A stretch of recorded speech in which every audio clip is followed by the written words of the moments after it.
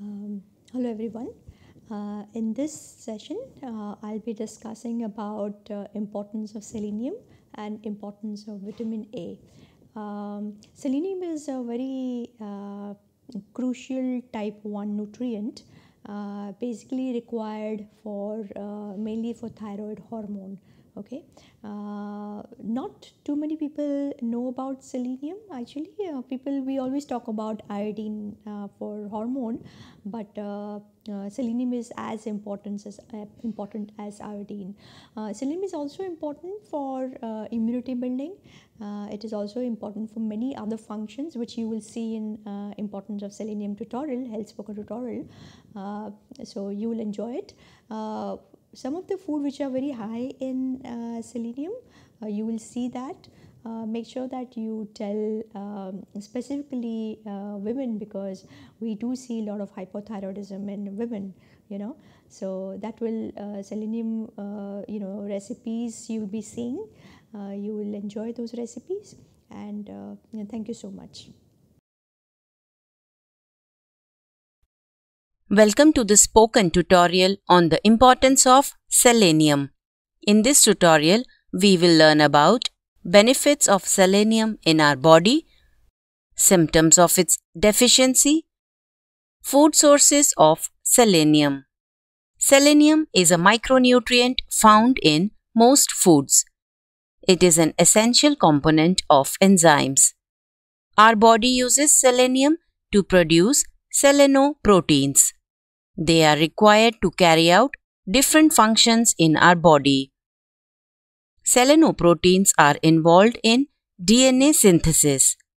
They are also required for protection against cell damage and infections. They are required to keep our muscles healthy and our immune system stronger. For a healthy thyroid gland, selenium and selenoproteins are required. Highest amount of selenium is present in the thyroid gland. Thyroid gland is a butterfly-shaped gland present in the neck region. Selenoproteins help in the metabolism of thyroid hormones. Thyroxine and triiodothyronine are the two main thyroid hormones. Thyroxine is also known as T4 and triiodothyronine is known as T3. Selenoproteins help in converting inactive T4 to active T3. These hormones are essential for growth, metabolism, and development. Selenium is beneficial for people with autoimmune thyroiditis. It is a condition in which our immune system attacks the thyroid gland. Selenium is vital for brain function. It helps in motor function, coordination, memory, and cognition. Development of sperms and production of testosterone requires selenium. It reduces the risk of cancer and heart diseases as well. Selenium also acts as an antioxidant. Antioxidants are substances that protect our body from damage by free radicals. Free radicals are substances that are naturally produced in our body. They become harmful only when they are excessive. Let us now look at the conditions associated with selenium deficiency. Keshan disease occurs in children with selenium deficiency. In this condition, the heart is enlarged and functions poorly. Kashin-Beck disease is a disorder of bones and joints. It is seen in adolescents and children with deficiency. Increase in infertility in men and prostate cancer are also seen. I will now tell you the symptoms of selenium deficiency. Depressed mood, anxiety, confusion and muscle weakness are some of the symptoms. Selenium deficiency can increase the risk for certain conditions. Selenium and iodine deficiency together increases the risk of thyroid disease. Hypothyroidism is also associated with selenium deficiency. It is a condition in which production of thyroid hormone is low. Deficiency increases the risk of cancer, Alzheimer's, and heart disease. Let us look at the groups that are at risk of deficiency. People having HIV, people undergoing dialysis, people living in regions where the soil lacks selenium. I will now tell you the recommended intake of selenium. Recommended dietary intake of selenium per day differs for different age groups. 1 to 3 years old require 20 micrograms. For 4 to 8 years old, it is 30 micrograms. 9 to 13 year olds require 40 micrograms. 14 to 18 year olds require 55 micrograms. Adults require 55 micrograms. Pregnant women require 60 micrograms. Lactating mothers require 70 micrograms. To meet these requirements, it is advised to include selenium rich food. Let us look at the food sources of selenium. Chicken, chicken liver, eggs, fish, and shellfish are good sources. Goat meat, goat liver, and goat kidney are also excellent sources. Grains, pulses, and seeds also have selenium. It is also present in a few green leafy vegetables. We will now see the amount of selenium present in different food items. Please note that the amount of selenium mentioned is for raw food items. One egg has around 40 micrograms of selenium. 100 grams of crab has around 71 micrograms. 100 grams or 2 small pieces of mackerel has approximately 64 micrograms. 100 grams or 2 goat kidneys has about 142 micrograms. 100 grams or 2 chicken liver has around 46 micrograms. 100 grams or 4 small pieces of chicken has nearly 20 micrograms. 30 grams or 2 tablespoons of split green gram with skin has about 15 micrograms. 30 grams or 2 tablespoons of dried peas have nearly 15 micrograms. 30 grams or 2.5 tablespoons of little millet has around 12 micrograms. 30 grams or 2 tablespoons of wheat has approximately 14 micrograms. 10 grams or 1 tablespoon of garden cress seeds have nearly 5 micrograms. 10 grams or 1 tablespoon of sesame seeds have about 3 micrograms. 10 grams or 1 tablespoon of Niger seeds have around 4 micrograms. 100 grams of agathi leaves have around 30 micrograms. 100 grams of amaranth leaves have approximately 21 micrograms. Include these foods in your daily diet for good health.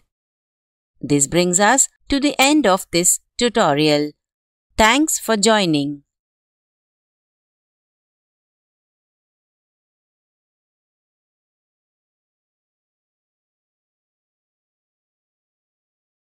Welcome to the spoken tutorial on selenium rich vegetarian recipes. In this tutorial, we will learn about benefits of selenium in our body, a few vegetarian recipes.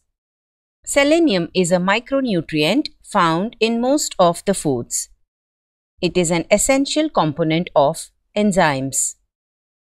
Selenium is required to produce selenoproteins. Our body uses selenium to perform different functions. Most of these functions are performed by selenoproteins. Selenoproteins are involved in DNA synthesis. They are also required for protection against cell damage and infections. The importance of selenium has been explained in another tutorial. Please visit our website for more details. Let us now see the preparation of the recipes. Before we begin, note that one bowl mentioned in this tutorial is 150 milliliters.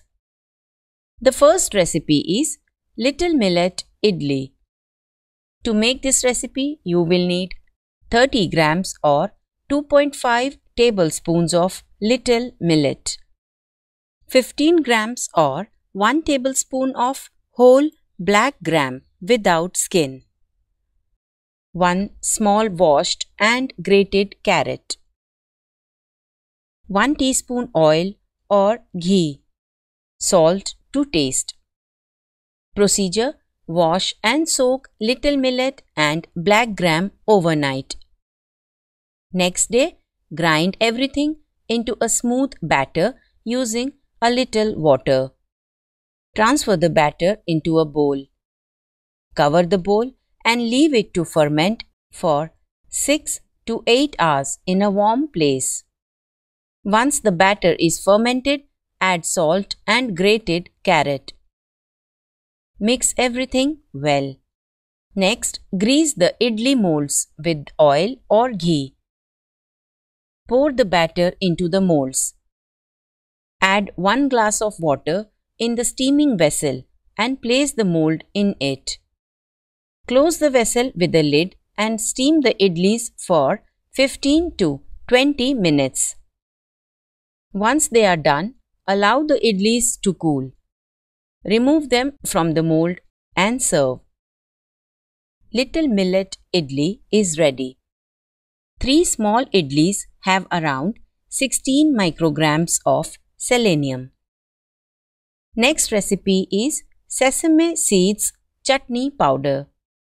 To make this recipe, you will need 2 tablespoons of roasted sesame seeds, 1 tablespoon of cumin seeds, 1 tablespoon of whole black gram without skin, 5 to 6 dry red chilies, 1 piece of dry coconut, salt to taste. Procedure Heat a pan.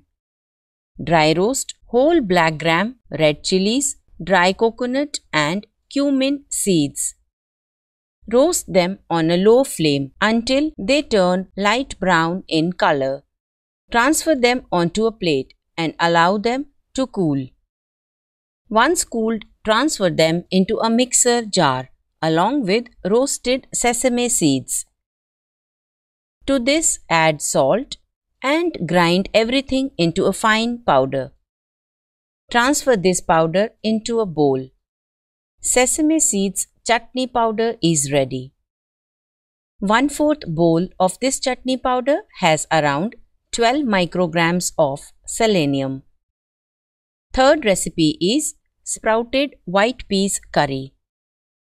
To make this recipe, you will need 30 grams or 2 tablespoons of sprouted white peas, 30 grams or 2 handful of washed and chopped amaranth leaves, you will also need 2 to 3 chopped garlic, 1 small chopped onion, 1 teaspoon each of cumin and mustard seeds, half teaspoon of turmeric powder, half teaspoon chili powder, salt to taste 1 teaspoon oil or ghee.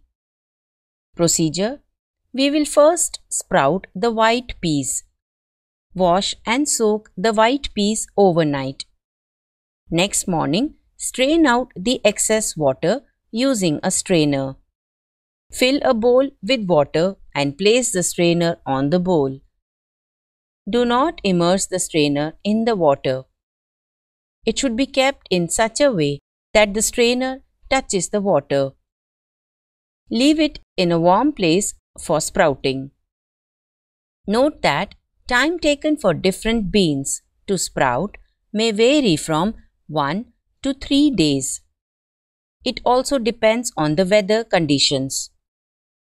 When the sprouts appear, pressure cook the sprouted peas. Do so until 4 to 5 whistles and then switch off the flame. Open the lid of the cooker after the pressure releases on its own. Keep this aside for later use. Heat oil or ghee in a pan and add the mustard and cumin seeds. Once the seeds splutter, Add garlic and onion. Saute until they turn light brown in color.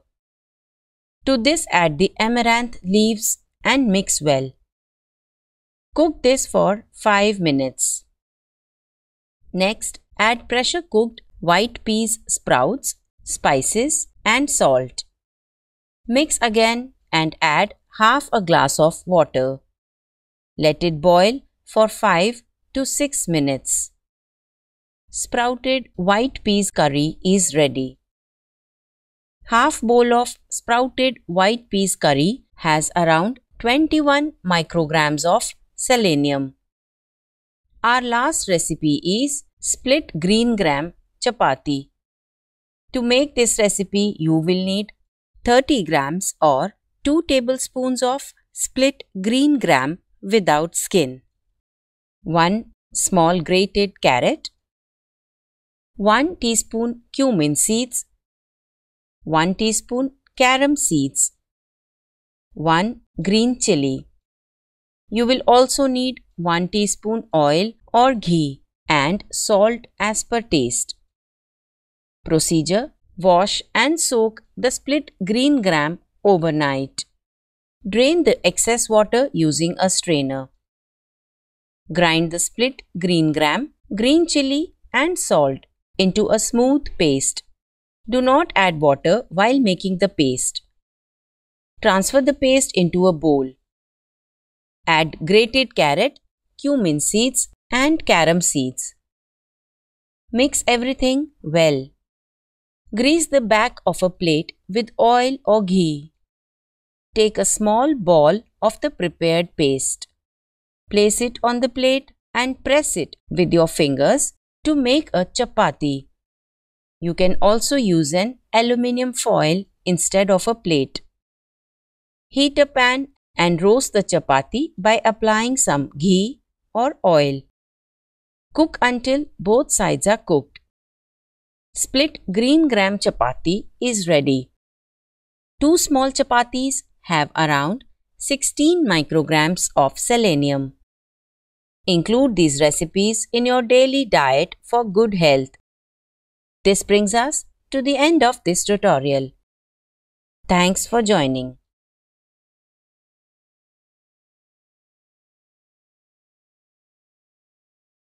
Um, hello everyone. Uh, in this session, I will be talking about uh, vitamin A.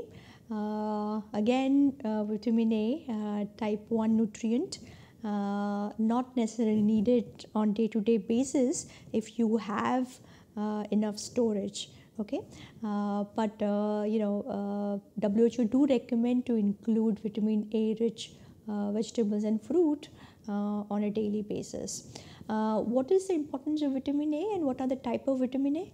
Uh, there is one which is retinol. Uh, this is the preformed vitamin A, very easily absorbed directly get used up in the body okay for vitamin a function so uh, make sure that you know children have and adults also we have a lot more retinol uh, vitamin A rather than carotenoid vitamin A. Uh, carotenoid vitamin A is basically it's present in uh, all your uh, yellow and orange vegetables and fruit. Uh, that is carotenoid. Uh, carotenoid has to get converted into retinol, so that conversion rate is very poor. You know, it's 12 is to 1. So I do prefer that you know children and uh, mothers especially they get uh, retinol. Uh, where do you get retinol from? Uh, from eggs, from uh, uh, milk, you know, from from fat of the milk. And also from non-veg food, specifically from liver. what is the function of vitamin A? Mainly, it prevents night blindness. It prevents a lot of uh, vision issue. Uh, you know uh, it is important for uh, retina. Uh, there is a pigment called rhodopsin. Okay so that's uh, rhodopsin requires vitamin a to function it also help vitamin a is also very helpful in prevention of acne okay? In fact we treat uh, people who have acne with vitamin a uh, you know a cream or gel. Uh, we sometimes we also give them vitamin a tablet okay?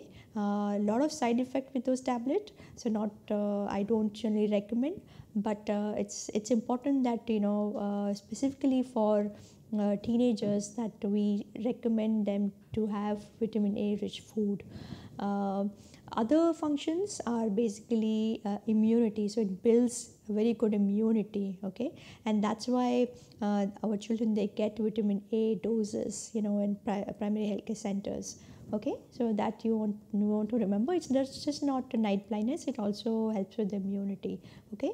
Uh, rich source i've already mentioned uh, this tutorial that uh, i'm going to show has much more detail. Uh, do watch it and share it with everybody. Thank you.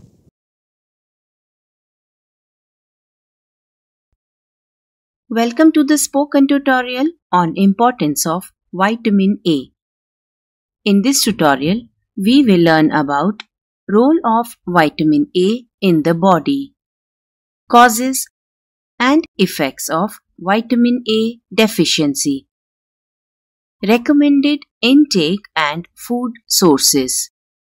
Vitamin A is a fat-soluble vitamin.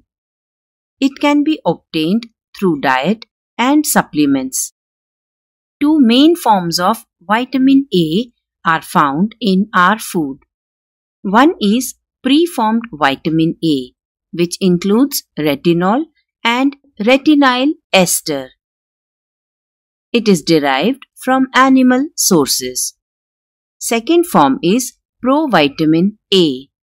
This includes alpha carotene, beta carotene, and beta cryptoxanthin.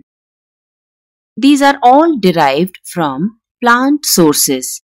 Preformed vitamin A from animal sources is an active form of vitamin A, whereas provitamin A from plant sources is an inactive form. During digestion, it has to be converted to retinol.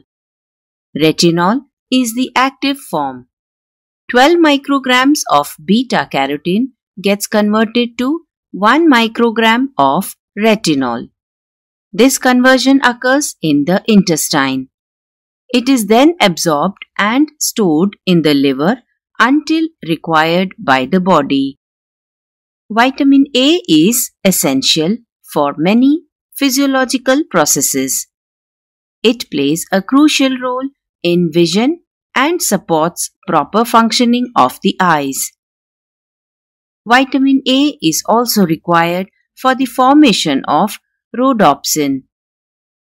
Rhodopsin is a pigment in the eyes which helps us to see at night. Lack of rhodopsin will cause significantly reduced ability to see in dim light. Vitamin A is important for the repair and maintenance of the skin.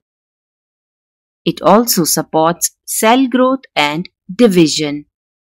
It plays a critical role in the formation and maintenance of various organs.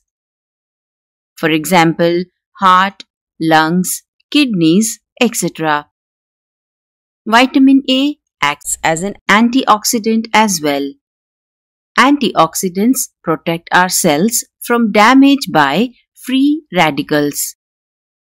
Free radicals are naturally produced in the body. They become harmful when they are excessive in the body. Hence, vitamin A reduces the damage caused by free radicals. Vitamin A has other roles in the body too. It maintains the strength and function of all the tissues and organs, such as the skin, lining of the respiratory tract, gut, inner ear, and eye. Maintaining a healthy immune system is another such example. Vitamin A is crucial for newborn health as well.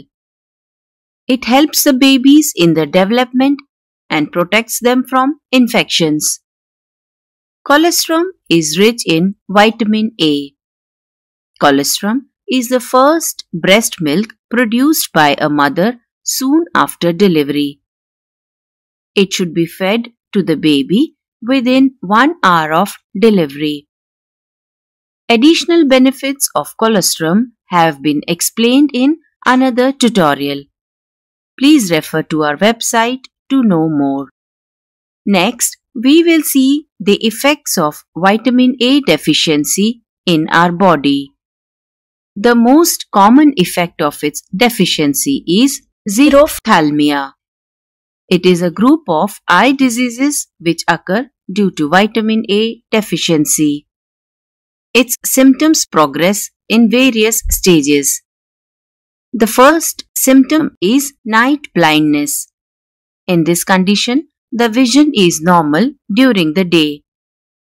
It becomes difficult to see at night or under low light conditions. As the deficiency progresses, the eyes become dry, dull, and wrinkled.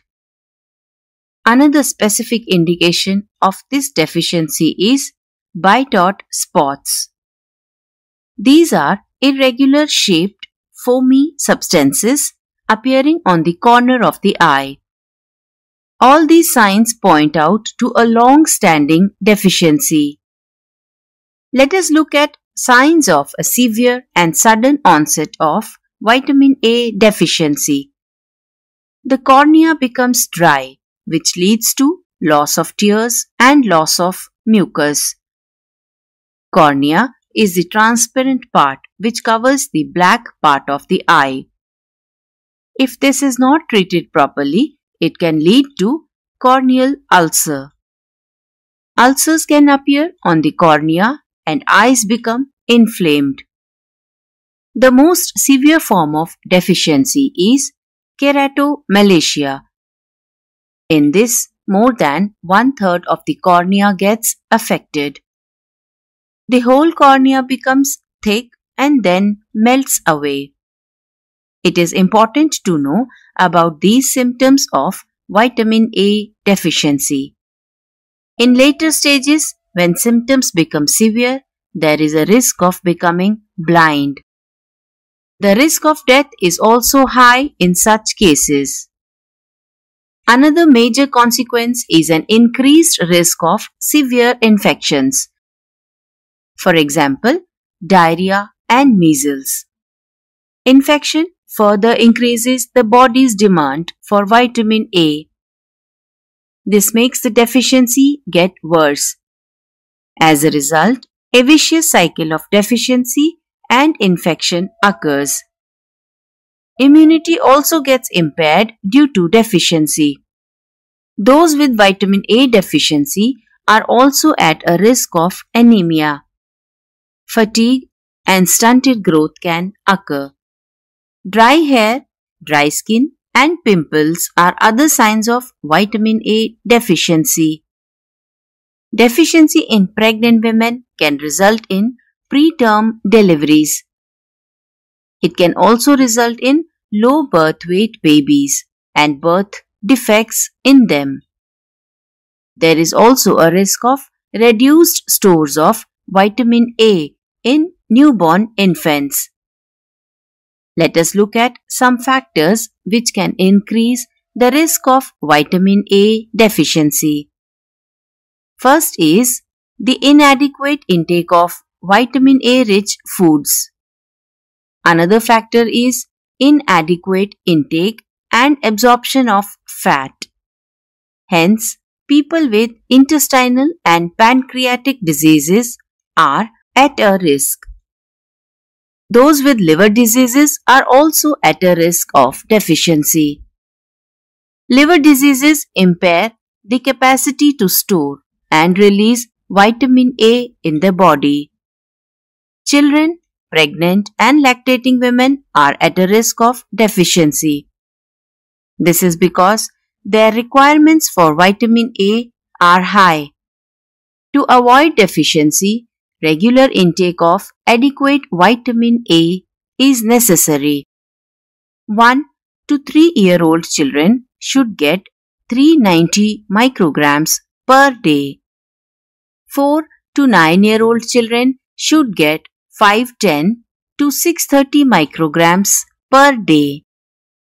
770 to 860 micrograms per day is recommended for adolescents. For adult women and men, 840 and 1000 micrograms per day is recommended. The same is recommended for elderly men and women above 50 years of age. Pregnant and lactating women should take 900 to 950 micrograms per day. Let us look at the food sources of vitamin A. There are two main sources of vitamin A, animal source and plant source. In animal sources, vitamin A is found as retinol, which is the active form.